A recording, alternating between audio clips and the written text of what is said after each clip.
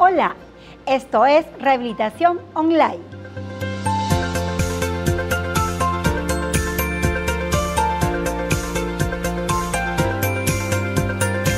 Las personas con síndrome de Down tienen un desarrollo normal dentro de sus propias condiciones. Su lenguaje es un aspecto muy importante para que se desarrollen y se relacionen socialmente. Este desarrollo del lenguaje dependerá de mucho de su nivel cognitivo de la persona con síndrome de Down. Es por eso que es importante que nosotros estimulemos desde la vida intrauterina a la persona con síndrome de Down para que pueda desarrollar sus capacidades lingüísticas. ¿Cómo puedo favorecer el desarrollo del lenguaje de la persona con síndrome de Down? Hay dos aspectos importantes. Primer aspecto, el aspecto muscular, Recordemos que la persona con síndrome de Down siempre tendrá hipotonía generalizada. Quiere decir que toda la musculatura, cabeza, cuello, extremidades, tronco, siempre será hipotónico. ¿Qué es hipotonía?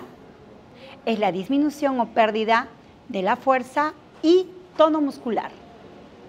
¿Cómo puedo ayudar a que esta condición muscular mejore?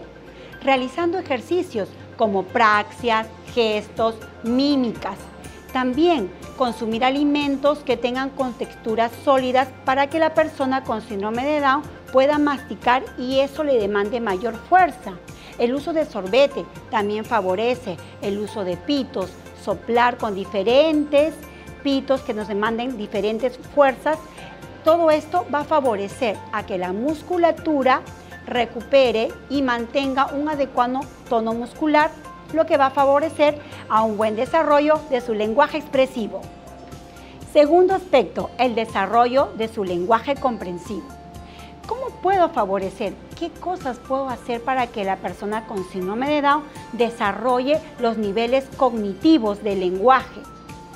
Lo más importante, hablarle con claridad, nombrar las cosas por su nombre, Empezar por palabras cortas de una o dos sílabas y así sucesivamente ir incrementando la complejidad. También es importante hacerlos escuchar música con diferentes instrumentos musicales. Esto va a desarrollar su atención y su concentración.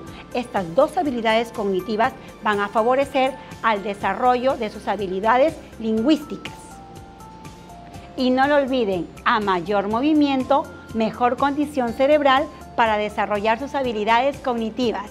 Esto fue Rehabilitación Online.